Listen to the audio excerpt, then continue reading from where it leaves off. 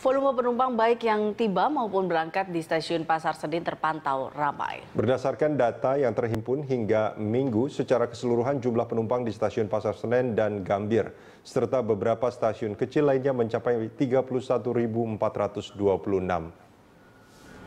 Jumlah penumpang kereta api pada akhir tahun diperkirakan tak berbeda jauh dengan akhir tahun yang akhir tahun lalu yang mencapai 31.540 orang. Dari data itu, kereta kelas ekonomi lebih dipilih dibanding kelas lainnya untuk berlibur di Hari Raya Natal dan Tahun Baru.